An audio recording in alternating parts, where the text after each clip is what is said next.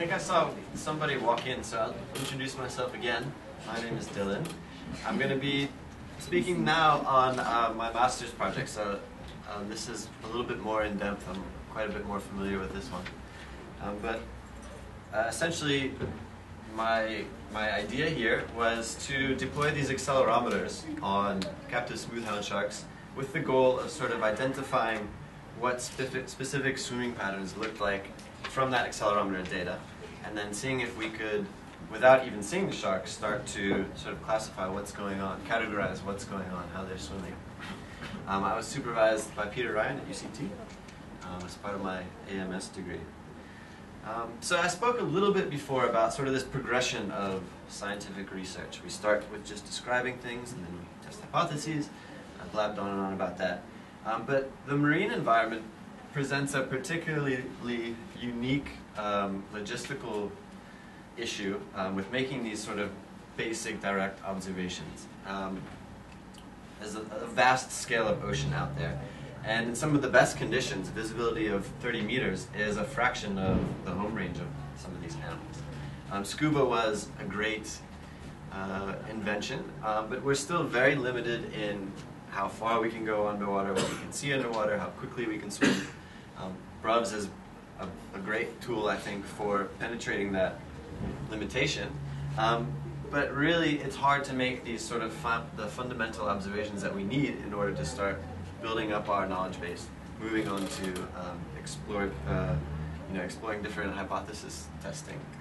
Um, so one of the things that we've done is started tagging animals, telemetry. Um, this sort of shifts the perspective of this outside observer to right on the back of the very animal itself. And we've got fewer limitations in this way. So generally what we get is kind of this spatiotemporal data. Um, classically, you know, we use acoustic tags or satellite tags. Um, more and more the technology is advancing. But from this information, uh, we can do make some inferences of behavior. In this area, this is a satellite track, uh, sorry, an acoustic track of a shark. I think it was actually one I just used in that previous presentation. But this is Mossel Bay. We've got um, some activity here by Rock River. We know it's a reef structure. Maybe there's some foraging going on. Here we've got some directed travel using a depth contour here as well. Um, and then in this case also, I don't know if it's navigation or here we're resting in the shallow water. But you know, we can start to make guesses at what's going on.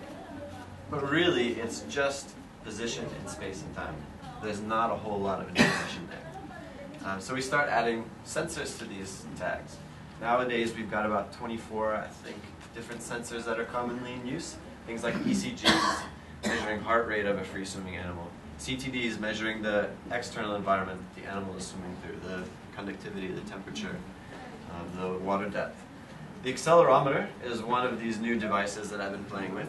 Um, just to put it quickly, if any of you guys have smartphones or tablets, you shake your screen around, the screen moves, you jiggle it, it changes the songs. That's all an accelerometer at work. It detects those changes in direction, and then it tells the screen to move or the, the computer to shuffle the songs.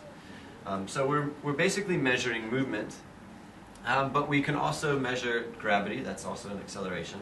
And from these two things, we can start looking at, you know, what's the orientation of the animal in the water column, how frequently is the tail beat swimming, uh, moving, and from here we can kind of start to group different behaviors without even really seeing it.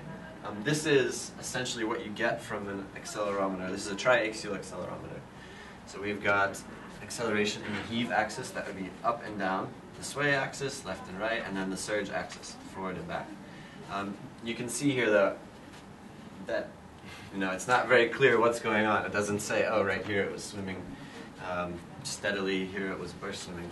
There's a bit of kind of manipulating, manipulating the data that needs to be done, and then some interpretation. Uh, so that's sort of what I wanted to do um, with this project. We wanted to sort of um, just ground truth it, kind of get an idea of what different swimming patterns looked like from the accelerometer data. And then from there, you know, perhaps free swimming deployments, identifying maybe specific areas where specific behaviors were occurring.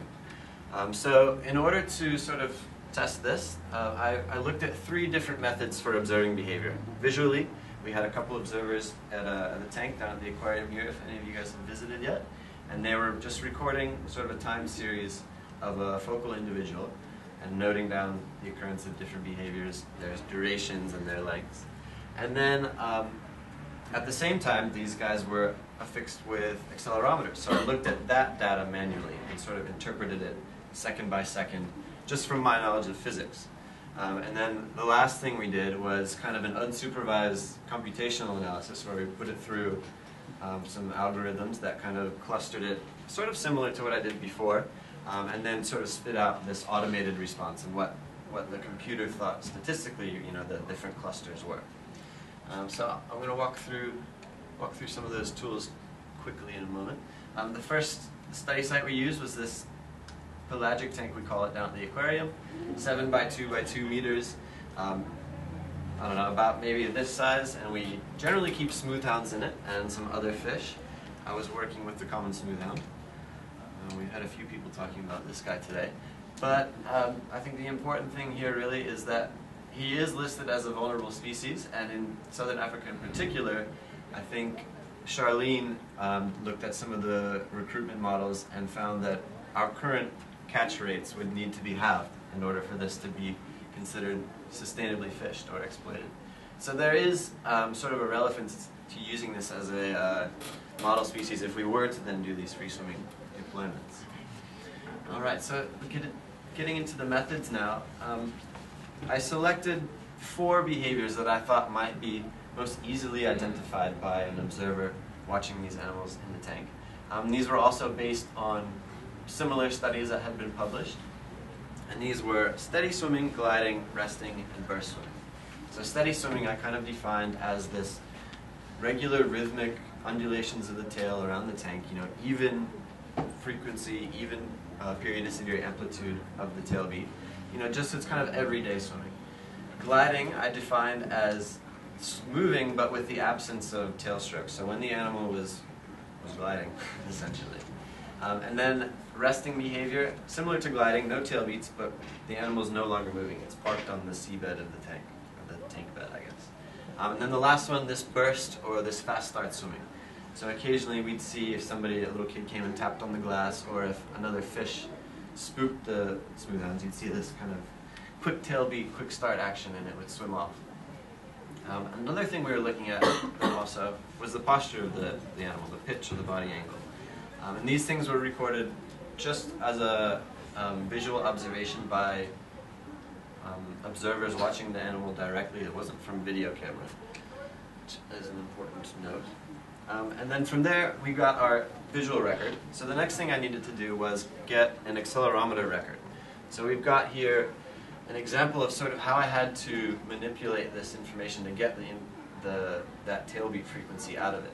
Um, I mentioned changes in direction are an acceleration, and changes in gravity are also acceleration. So these two components are kind of measured in the same signal, and we need to separate them.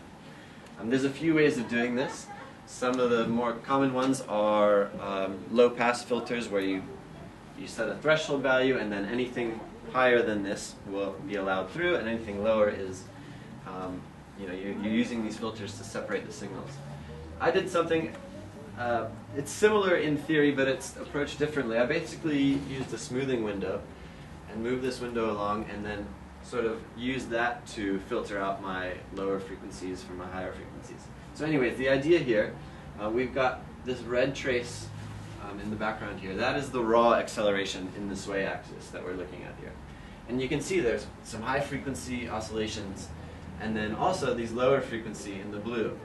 And the idea is if you filter out if you use a filter that is at least one um, full cycle of the tail stroke, you can smooth those out entirely. So you're no longer looking at the individual oscillations of the tail, you're looking at um, what we assume is um, the changes due to gravity, the lower frequency oscillations. So that's this blue line here.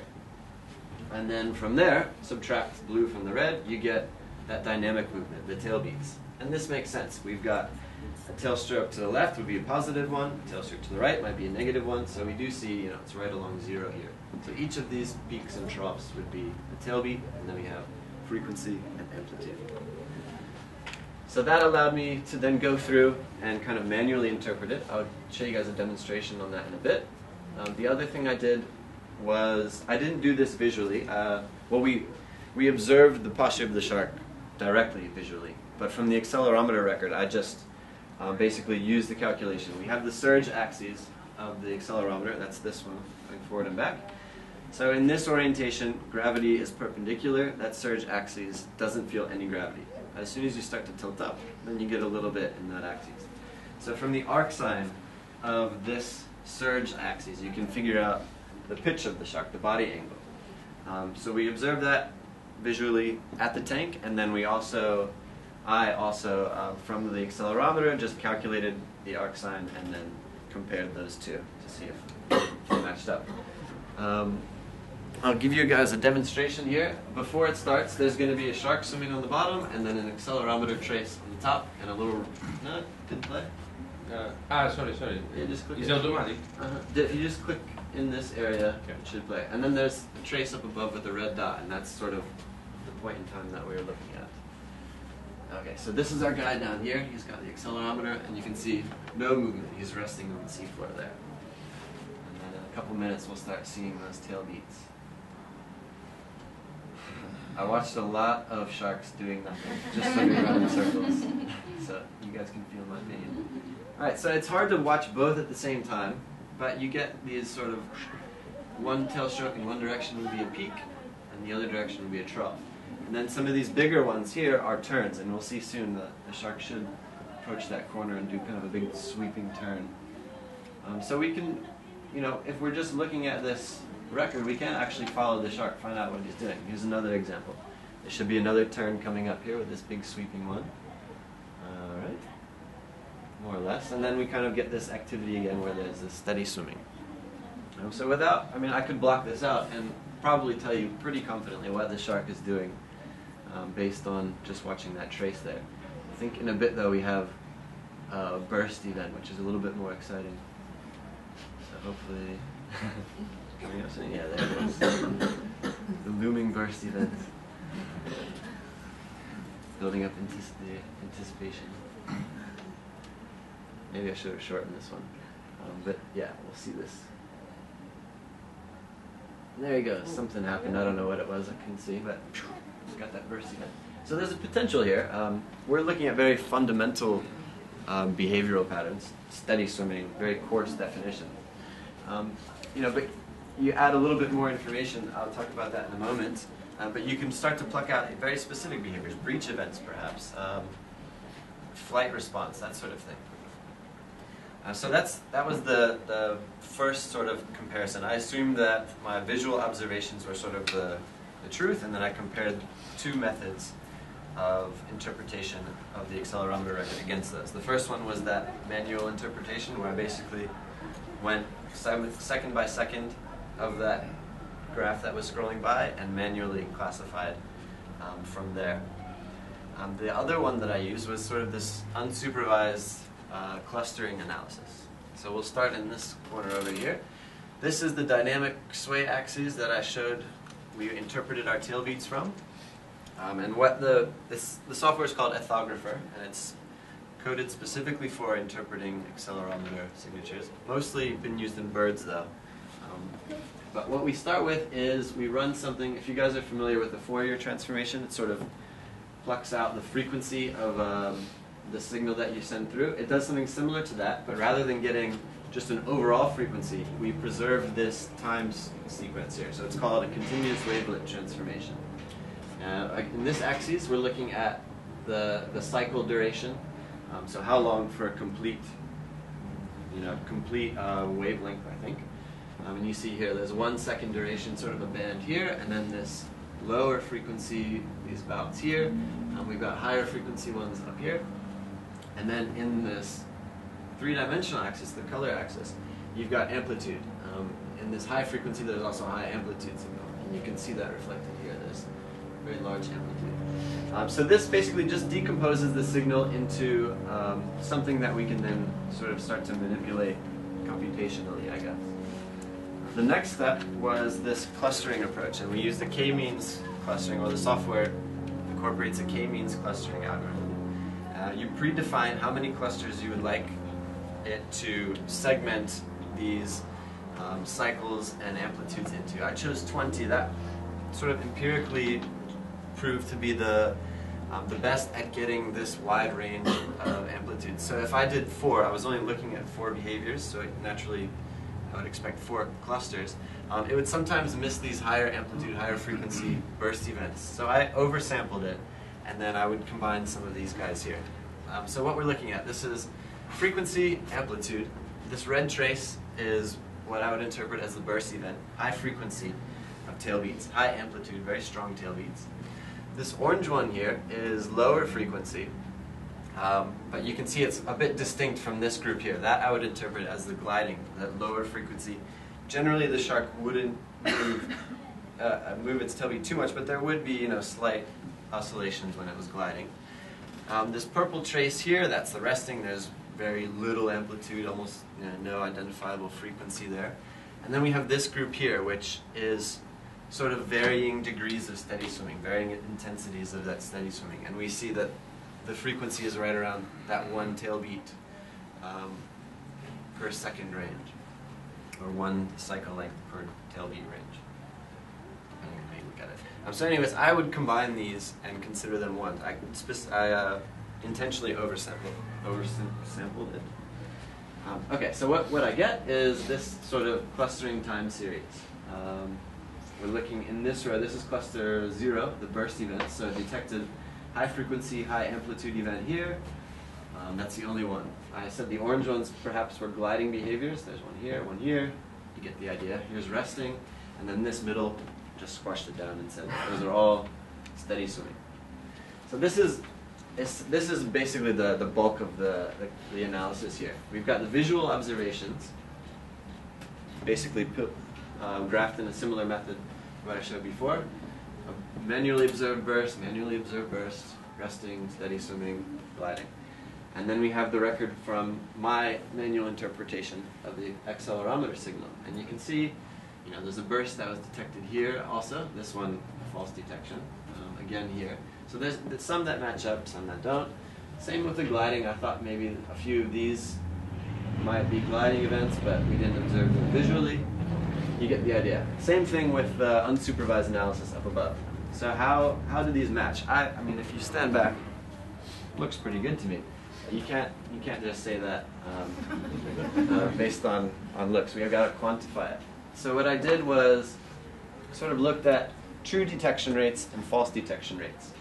And I calculated true detection rates as the number of events, assuming that what we observe visually is the truth, the number of true events that were detected by the accelerometer, or in my you know, comparison, by the ethographer analysis.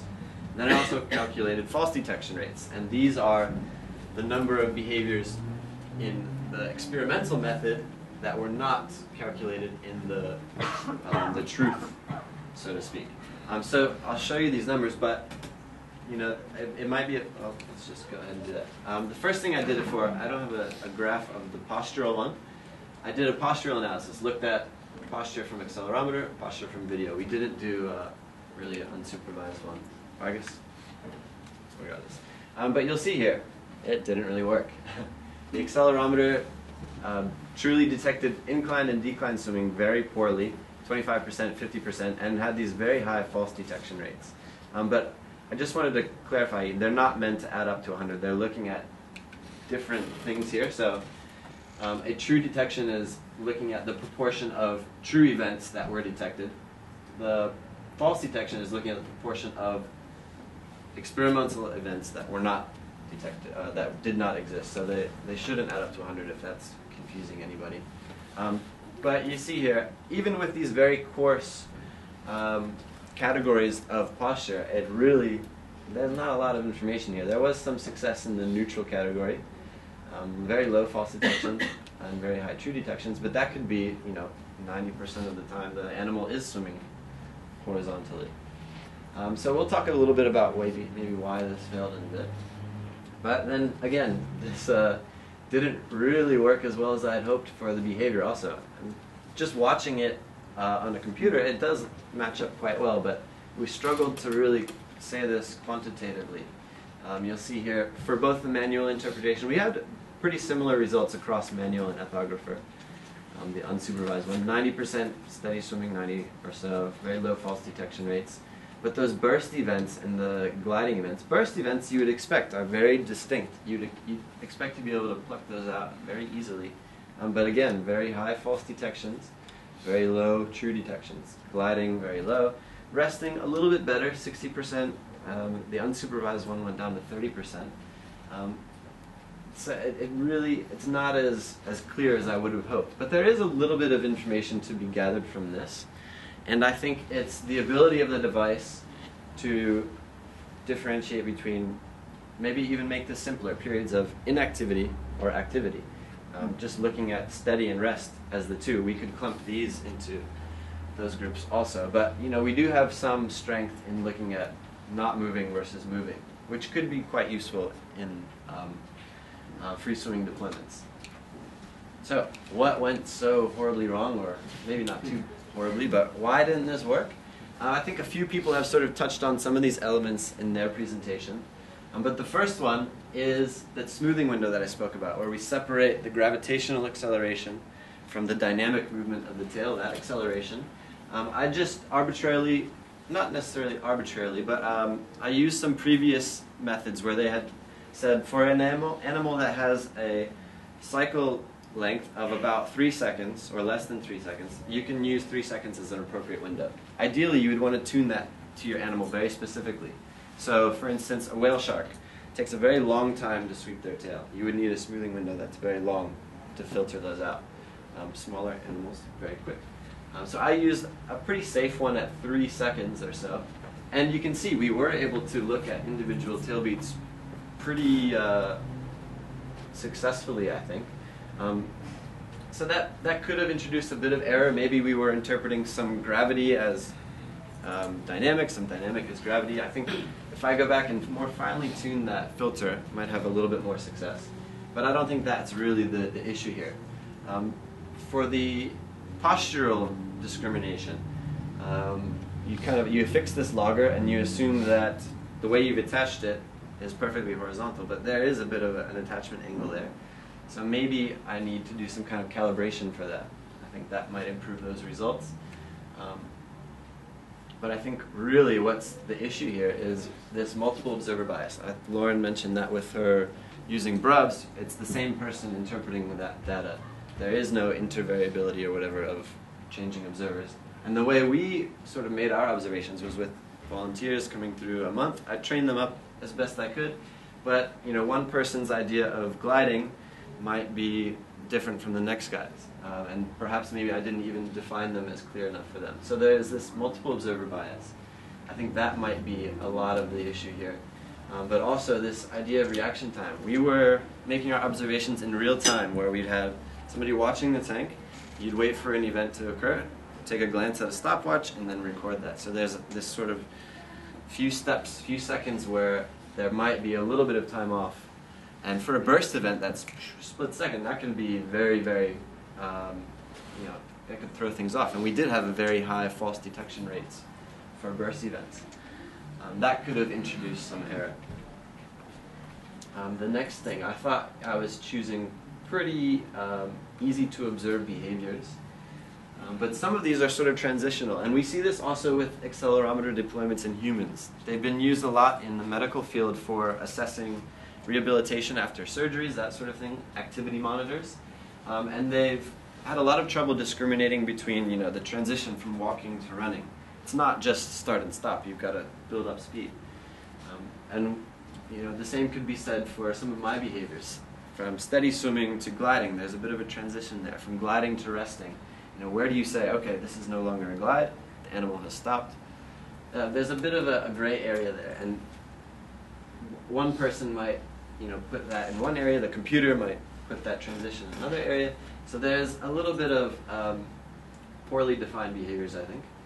Uh, and then I think maybe the solutions to some of these sources, I, I, I, would really like to go back and do all the observations myself. I do have video of them. So just keep a single observer, a single interpreter. And then also use some of the other axes. I, I primarily looked at that sway axis, the tail beats. I didn't really combine the posture with the, um, the, the sway axes, the tail beats. But that might help discriminate between resting and gliding. If the shark is perfectly flat and there's no tail beats, that's a rest. If it's declined and it's no tail beats, that's probably still gliding. Um, I've also got the heave axes I can use. I'm not, I'm not looking at all the information that I have here. And we do know that these animals are moving in, in three dimensions, so it's kind of silly to just look at the one. Um, but that being said, I do, I really, really think there's a lot of promise for this technique, and there have been quite a few publications coming out more recently where they have shown success. Um, it's a very young, young tool to, um, to kind of enter the scene, um, but it has been very popular. Nick Whitney's been putting them on the OCEARCH sharks in Florida now. Um, but I really do, I don't want to let, I don't want my sort of inability to show their strength sort of mislead you guys. I think there's a lot of success here. Um, but one of the things that I, I did quantitatively find was um, these accelerometers, they're meant to be high resolution devices. They're measuring at a frequency, you know, from 5 hertz to up to 36 hertz sometimes. You know, one position every two tenths of a second. Um, so you get massive data from these devices, and you're only looking at a span of an hour, for instance. My deployments were an hour and 15 minutes. I think it was something like 65,000 points of information. So it, if you're manually looking at this information, trying to categorize it, that could take hours, and it did take hours. Um, but you plug it into a computer, you get pretty similar results, and it's lightning quick. So when we do get these new technologies, um, accelerometers, heart rate monitors, things that are sampling very high frequency, some of these new uh, satellite tags perhaps, I don't know, this underwater GPS I'm trying to push for. We've got lots of information that needs to be processed, and we need to manage it effectively. So these, uh, the technology that we're, we're now finding in these analytical tools for processing large information data sets is, uh, I think, very, very strong. And I certainly found this myself in the computation, comparison of the computation times between manually going through all of this and using the unsupervised analysis. The other thing I would like to try in the future is some of these supervised machine learning techniques. So rather than just um, kind of blindly classifying it, you can first train your clusters and say, okay, here is an example of a burst event that I observed manually. And you go and find the accelerometer record. And you can train these uh, machine learning techniques to then, you know, okay, these are the certain parameters that build a burst event. You look at the frequency of the tail beat, the amplitude. You can look at the mean value. You can look at you know the variability of the accelerometer signal. You can use a lot of different components and better describe these, better quantify these things. And these algorithms, things like support vector machines, um, there's other clustering techniques that can be used. You know, they're able to use things that you can't really, you know, it's hard to look at the variability of some of these signals visually. But if you put assign a number to it, these computer techniques can then um, learn from those and then better discriminate on their own. And we call those supervised um, techniques. I think I've got a few more things. Yeah. Okay. So that was that was the the main goal of this analysis. Um, but there's a lot of potential in these accelerometers for other types of work. I was looking mostly at behavior. Um, there's been a lot of work recently in using them to assess post-capture stress. And I think that's quite cool. Uh, is there a way you can move this one out of the way for me? Because my animation didn't come up. Yeah. All right, so this is one of the things Nick Whitney's doing with the OCEARCH, which I wanted to get proposed here, but we, we had some issues with that. But it's really cool. So he's using the accelerometer to assess energy expenditure. Accelerometer is measuring movement, and for an animal like a shark, swimming is the bulk of that movement.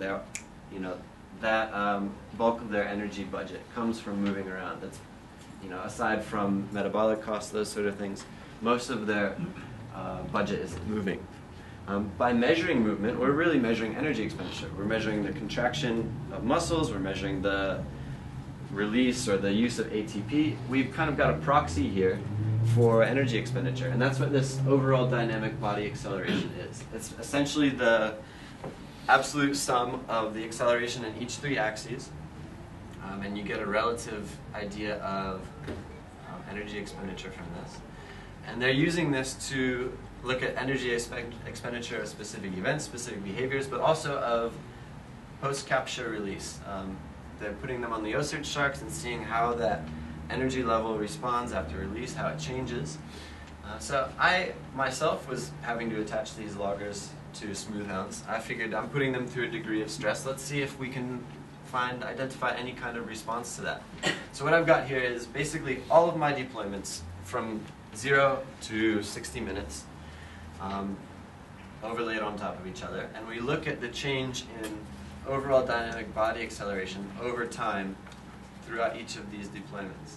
Um, so I, I did a quick linear mix model to this, looking at the effect, basically the response of ODBA to time after capture in minutes, and then I included a random variable because I did use repeated individuals, um, so my data wasn't very independent. So I did put a random effect for individual in there. It's a mixed model. But I get this negative slope here. It's, it's a very small slope. I am looking only of an hour here. Um, some species, I think we mentioned yesterday's, yesterday white sharks, or I forget what Herman was saying, but you know, we're, we're looking at an 18 hour to 48 hour period of recovery here. I'm only taking a look at this first 60 minutes. Um, I'm looking at a much smaller species, but there's, there's a response here. It's a negative slope. We're seeing that immediately after release, there's this high energy, and then perhaps it goes off you know, in this area to some baseline. And we can start to quantify that. We don't have a baseline, but you know, we're looking at the response. It's still of value here. Uh, can you bring that next picture up for me? Put that one back on top. No, no, not that one.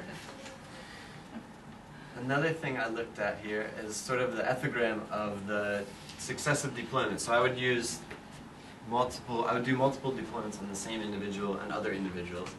Um, and ended up being able to use about seven deployments on each, each shark, I think. Yeah, so anyways, what we're looking here, looking at here is the proportion of time spent in each behavior um, as the, as I do further and further deployments on the animal. We've got steady swimming up here, gliding in this area, burst swimming and resting. Uh, and what I saw, it's not so clear in this burst event, but for each um, behavior, at about the second deployment, we see these changes. Um, the steady swimming, the second, second deployment, we see this drop in time spent steady swimming, and this increase in time spent gliding and resting. Um, I would like to be able to say there's there's an increase in the burst swimming around about the same time, but it's not as striking. Um, but what I what I gather from this is less time spent, you know, with its norm its normal activities, what we observe as um, its normal um, partitioning of that time spent, and more time doing these abnormal ones. Maybe resting because it's been put through the stress of tagging, gliding more because it's been put through those stresses, um, and then you see this return, kind of this habituation here, return to to normal.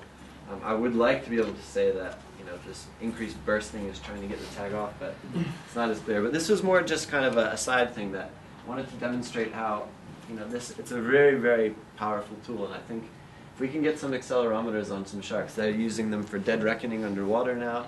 Um, there's a lot of avenues to deploy these things, uh, and they're they're relatively inexpensive now. Vemco's got a bunch of them. All right, so thanks.